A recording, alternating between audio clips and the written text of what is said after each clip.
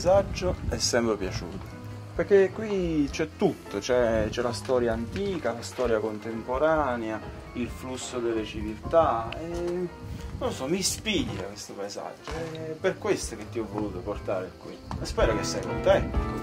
Eh. E questi passaggi, questi spazi eh, ci ispirano in effetti, no? Quando attivano delle dinamiche sempre particolari.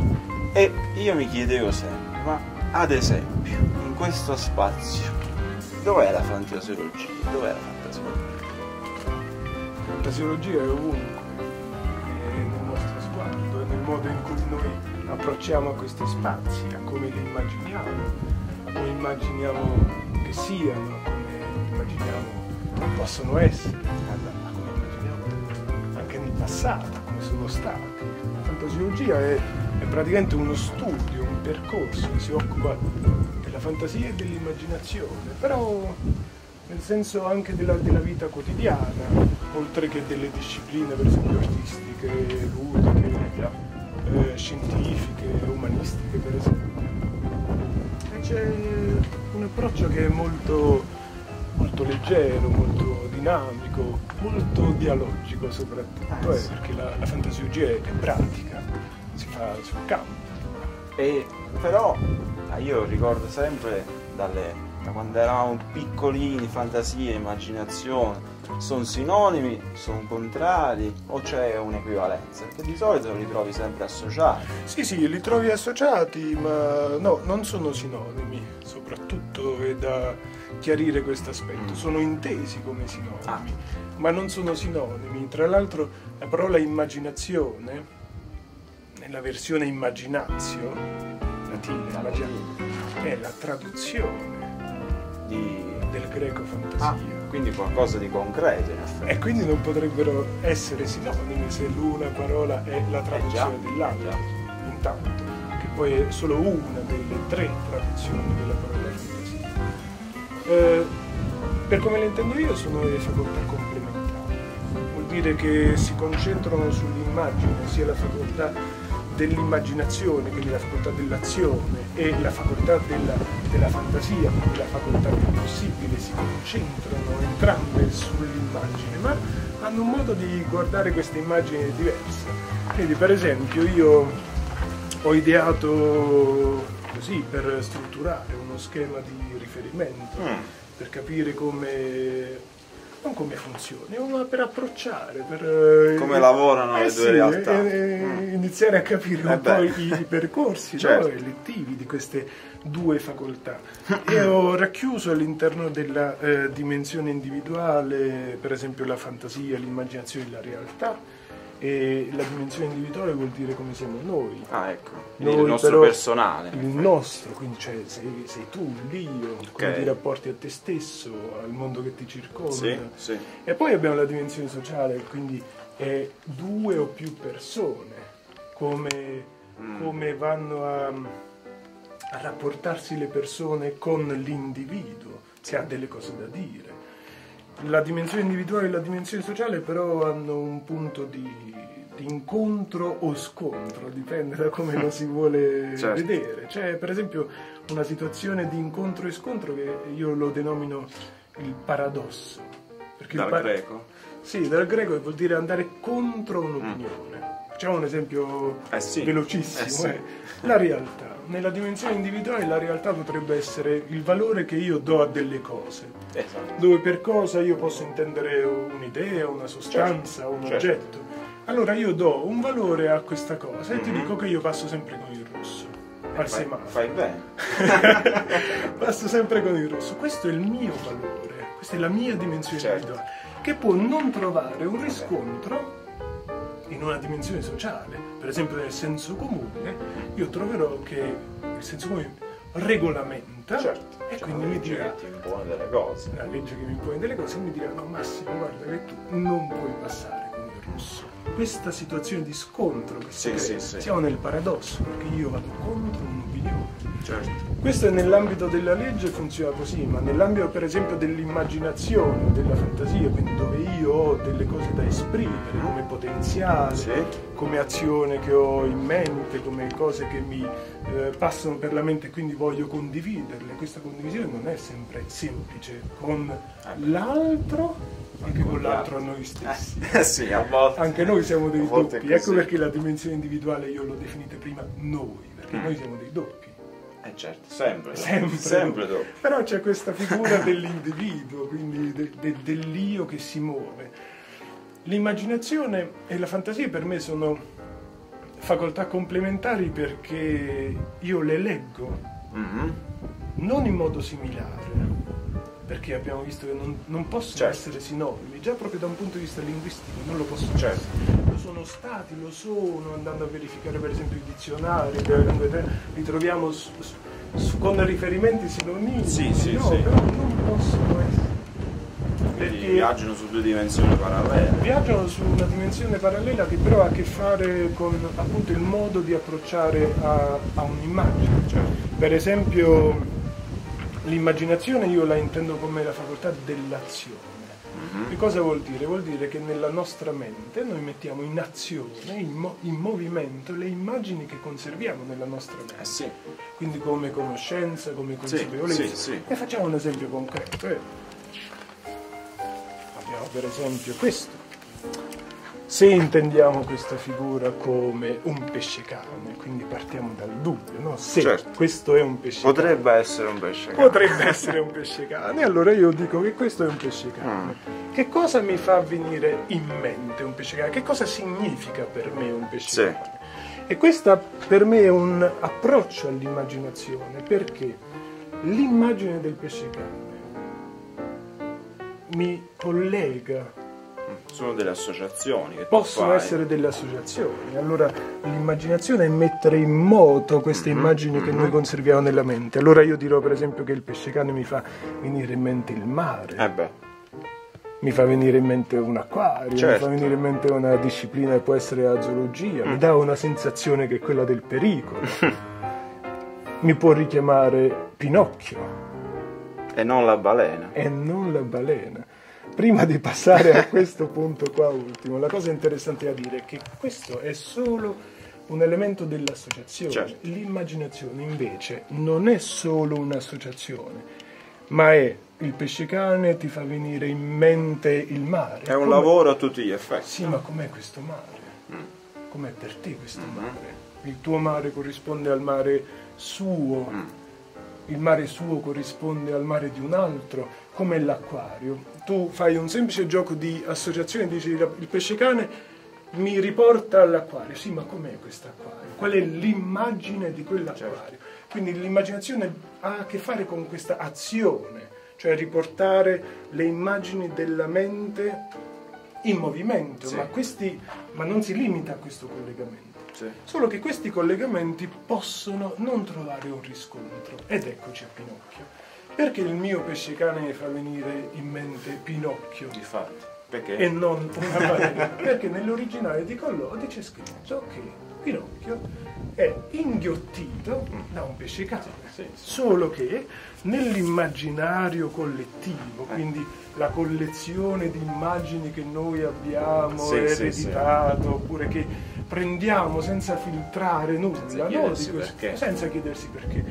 Se pensiamo alla versione di Walt Disney, Eh, c'è la balena, ed è vero, eh, ma se pensiamo all'originale, c'è il pesce cane. e quindi diventa falso un richiamo del pesce cane. Il problema è che se io nella mia dimensione individuale cerco di rapportarmi alla dimensione sociale Mhm.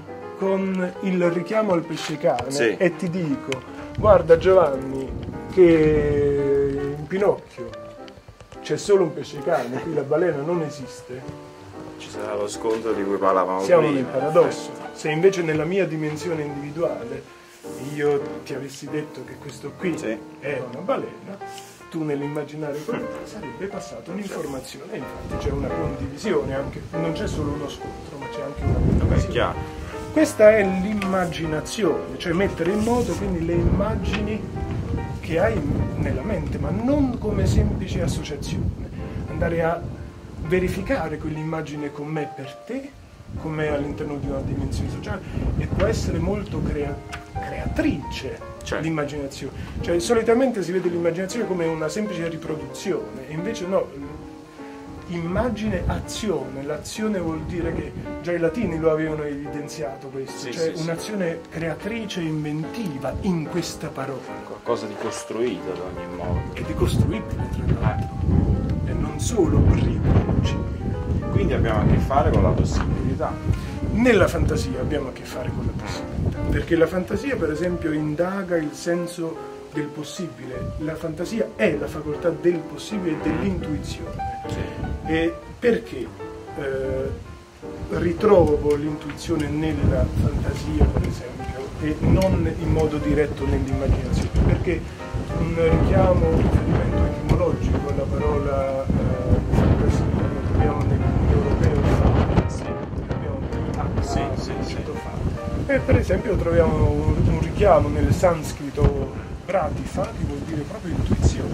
Ah. E quindi la fantasia va, va dentro. Mm. L'intuizione vuol dire proprio in, dentro, tu eri guardare, cioè quindi guarda dentro, ma guarda dentro già. guarda dentro un'immagine. Quindi l'immaginazione è come se, se la figura rimbalzasse, se, la- se il tuo sguardo rimbalzasse sulla figura. Invece la fantasia entra nella figura.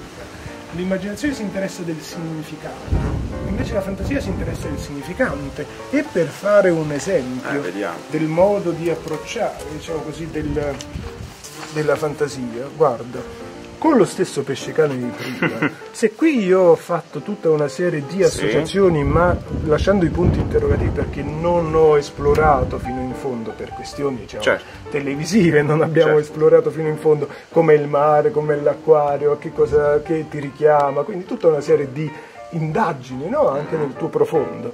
Eh, la fantasia invece non si occupa più di che cosa significa per te, ma che Ok. cosa può essere per te questa immagine. Quindi ecco oltre perché, la semplice associazione. ecco perché il possibile. E allora, prendendo lo stesso pesce cane, Mhm. questo è un gioco. Però Sì. è, un, è un gioco che almeno per quanto mi riguarda chiarisce benissimo la differenza tra le due facoltà, che però sono complementari perché si danno queste informazioni. Sì. Sullo stesso pesce cane non faccio più questo discorso qui, ma inizio a chiedermi che cosa può essere per me un Mhm. pesce cane, inteso come forma. Allora io posso prendere un pesce cane, lo posso ru- ruotare, ne isolo un pezzetto, Sì. Lo guardo Sì. e inizio a concentrarmi su questa figura. E per esempio c'è la pareidolia, no? le fasmate, certo. quindi andare a vedere come funzionano, per esempio cercare delle figure all'interno di altre figure. E io inizio a vedere che dalla coda di un pesce cane io ci posso tirar fuori un personaggio di un fumetto, che è questo. E questa parte qua non è altro che parte della coda del pesce cane. Eh, certo. Ovviamente io l'ho riempito, Sì, l'ho, sì, sì. l'ho- ho completato questa intuizione, ma l'intuizione per esempio è ideare un personaggio dalla metà di un pesce cane. Allora qual è il possibile? Che questo è solo il mio possibile, una delle tante possibilità. Eh sì. Ma tu per esempio... Per me potrebbe essere un albero. Per te potrebbe essere un albero. Io sono affascinato e interessato alle fantasticherie, tu mi hai detto che per te questo potrebbe essere un albero, io sono contentissimo di questa tua esplorazione. Io sono attratto però dalla dimostrazione, dalla dimostrazione, che i miei studi, i miei giochi, le mie ricerche vertono sulla dimostrazione. Quindi io sono attratto dal- dalle modalità con cui tu puoi farmi vedere non solo i rapporti dell'immaginazione, ma anche i rapporti della fantasia. Quindi se io ti dico che dalla coda di un personaggio ne può venire, di un pesce cane ne può venire fuori un personaggio. E io e te possiamo conversare così, eh. È, è- è- libitum. è delirante. Però se poi te Certo. lo faccio vedere diventa interessante. Eh sì. Attenzione che quello che ti faccio vedere non è la verità, o meglio, non è l'unica verità intesa come possibilità, Sì. Perché dalla coda di un pesce cane ci puoi vedere un albero, ci puoi vedere un coniglio, ci puoi vedere qualsiasi cosa. Quindi abbiamo sempre comunque a che fare con la creazione, in effetti, no? Abbiamo a che fare con la creazione, però la creazione appartiene sia all'immaginazione sia alla fantasia. E in che modo si, Perché si la- rapporta? Basterebbe andare a vedere un esempio su- su- sui tanti, quello che è per esempio l'etimologia della parola creare. Creare, dentro creare c'è il fare.